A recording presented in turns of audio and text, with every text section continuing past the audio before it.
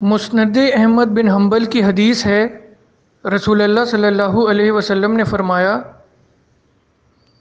जिसने दस दिरहम का कपड़ा ख़रीदा, जिनमें एक दिरहम हराम का था तो जब तक वो कपड़ा इस पर रहेगा, अल्लाह पाक इसकी कोई नमाज़ कबूल नहीं फरमाएगा।